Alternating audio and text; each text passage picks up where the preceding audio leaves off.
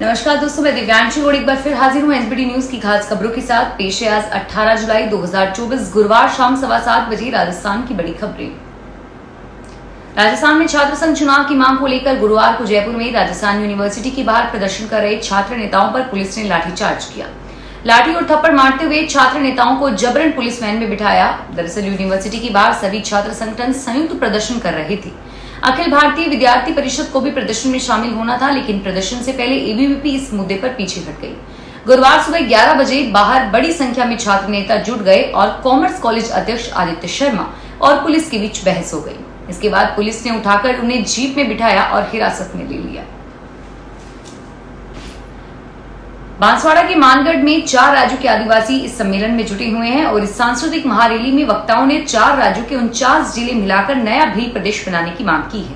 बांसवाड़ा ज़िले के आनंदपुर स्थित मानगढ़ धाम पर आदिवासी समाज की बड़ी सभा हुई है और इसमें संस्थापक सदस्य मेनका डामोर ने मन से कहा कि आदिवासी महिलाएँ पीड़ितों के बताए अनुसार न चले। आदिवासी परिवार में सिंदूर नहीं लगाते, मंगलसूत्र नहीं पहनते और अब से सब व्रत उपवास बंद कर दें। राजस्थान के राज्यपाल कलराज मिश्र का कार्यकाल जल्द ही पूरा होने जा रहा है, जिसके बाद अब नए राज्यपाल के नाम को लेकर सियासी गलियारों में चर्चाओं ने गति पकड़ ली है। कलराज मिश्र ने 9 सितंबर 2019 को राजस्थान के राज्यपाल का पदभार ग्रहण किया था और उनके कार्यकाल को असंतुष्टिपूर्ण माना जा रहा है। अगले राज्यपाल के तौर पर फ़िलहाल पूर्व जनरल वीके का नाम सबसे आगे चल रहा है। राजस्थान के पूर्व राज्यपाल कलराज सिंह का कार्यकाल पूरा होने के बाद प्रदेश के नए राज्यपाल के तौर पर कलराज मिश्र ने कमाल संभाली थी। आदिवासी समाज को लेकर की गई टिप्पणी पर शिक्षा मंत्री मदन दिलावर ने विधानसभा में माफ़ी मांगी है। दिलावर ने कहा कि मैं यह भी जानता हूँ कि जब भगवान राम वनवास गए, तब उनको सहयोग करने वाले आदिवासी थे और भगवान राम ने शबरी माता के घर झूठे बेर खाए। दिलावर ने कहा, आदिवासी समाज समाज का अभिन्न अंग है और इनके बारे में नकारात्मक भाव मैं नहीं मानता हूँ। विपक्ष या किसी आदिवासी बंधु को जो मेरी जाति के हैं, उनको मेरे शब्दों से अगर कोई कष्ट हुआ है तो मैं खेद प्रकट करता हूँ। राजस्थान में पाँच सीटों पर होने वाले चुनावों की तैयारियाँ शुरू हो चुकी है। भाजपा के प्रदेशाध्यक्ष सीपी जोशी बुधवार को टोंक ज़िले के दौरे पर रहे। जहाँ भाजपा की जिला स्तरीय कार्य समिति की बैठक में उन्होंने शिरकत की और इस दौरान उन्होंने सचिन पायलट की गढ़ टोंक में पायलट पर निशाना साधा। सीपी जोशी ने पायलट को लेकर कहा कि वह सपनों के सुदागर हैं। भाजपा प्रदेशाध्यक्ष सीपी जोशी ने पहले मन से संबोधित करते हुए राहुल गांधी के हिंदुओं को लेकर दिए गए बयान पर पलटवार किया। सीपी जोशी ने अपने संबोधन में विपक्ष पर भी जमकर पलटवार किया। राजस्थान प्रदेश कांग्रेस अध्यक्ष गोविंद सिंह डोटासरा ने आज भर्ती परीक्षाओं में S C S T OBC, MBC और ईडब्ल्यूसी वर्ग के आरक्षण को लेकर प्रदेश की सरकार पर निशाना साधा है। गोविंद सिंह डोटासरा ने आज इस संबंध में सोशल मीडिया के माध्यम से अपनी बात कही और राजस्थान के पूर्व शिक्षा मंत्री गोविंद सिंह डोटासरा ने कहा कि प्रदेश की भाजपा सरकार युवाओं के साथ अन्याय और उनके भविष्य से खिलवाड़ कर रही है, जिससे नौजवान भारी आक्रोशित हैं।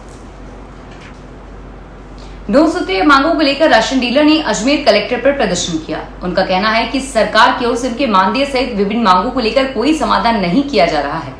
राशन डीलर संघ की ओर से मुख्यमंत्री के नाम जिला कलेक्टर को ज्ञापन सौंपा गया और अगर मांगों पर सकारात्मक निर्णय नहीं हुआ तो 20 को जयपुर में महापड़ाव होगा।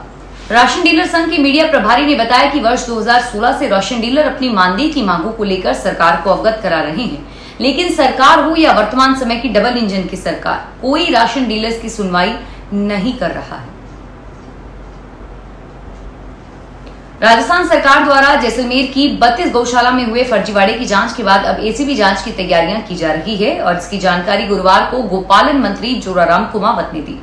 कुमावत ने विधानसभा में इसकी जानकारी देते हुए बताया कि जैसलमेर में हुए गौशालाओं के अनुदान में फर्जीवाड़े को लेकर सीएम ने मिलकर जानकारी दी है। और सीएम ने इस मामले की जाँच के लिए भ्रष्टाचार निरोधक ब्यूरो को लिखा गया है। अब इस मामले की जाँच एसीबी द्वारा की जाएगी। अगर गौशाला को अनुदान मिला है तो उससे रिकवरी भी की जाएगी। जयपुर में एक सत्यासठ साल की बुज़ुर्ग से ईडी के अधिकारी बनकर पाँच लाख रुपए की ठगी करने का मामला सामने आया है। ठग ने अपने आप को मुंबई का बताते हुए कहा कि उनके खातों से मनी लॉन्ड्रिंग हो रही है और इतना ही नहीं, झांसे में लेने के लिए सुप्रीम कोर्ट के फर्जी डॉक्यूमेंट्स भी दिखाए। यह मामला शहर के अशोकनगर थाने का है। पीड़ित ने बताया कि वह बजाज मार्ग की सी स्कीम में रिपोर्ट दी और कहा कि ठगी की वारदात उनके साथ हुई है। आरोपी ने प्रदीप से कहा कि उनके नाम से मुंबई में एक सिम एक्टिव है, जिस पर प्रदीप ने कहा कि उनके नाम से कोई खाता मुंबई में नहीं चल रहा, जिस पर आरोपी ने कुछ फर्जी दस्तावेज़ दिखाए, जिससे लगा कि मैं वास्तव में किसी फर्जी दस्तावेज़ देकर खाता खुलवा लिया हूँ। जोधपुर में असिस्टेंट सब इंस्पेक्टर द्वारा महिला से छेड़छाड़ करने का मामला सामने आया है। महिला का आरोप है कि एएसआई ने उसका हाथ पकड़कर पाँच हज़ार रूपए मांगे। जब बचकर जाने लगी तो गाड़ी को दो तीन बार टक्कर मारकर उसे मारने की कोशिश की। जब मामला तूर पकड़ने लगा, तब ट्रैफ़िक डीसीसीपी ने आरोपी एएसआई को सस्पेंड कर दिया। राजस्थान रोडवेज़ वर्कर्स यूनियन ने अपनी मांगों को लेकर सीकर बस डिपो में विरोध प्रदर्शन किया है। कर्मचारियों ने रोडवेज़ प्रशासन व राज्य सरकार के खिलाफ जमकर नारेबाजी की। जिसके बाद वे धरने पर बैठ गए और राजस्थान रोडवेज़ वर्कर्स यूनियंस के प्रदेश उपाध्यक्ष ने कहा कि पिछले कई सालों से रोडवेज़ कर्मचारी अपनी मांगों को लेकर संघर्ष कर रहे हैं। राज्य सरकार का इस ओर कोई ध्यान नहीं है और लंबे समय से कर्मचारियों की सुनवाई न करने से कर्मचारियों में रोष है।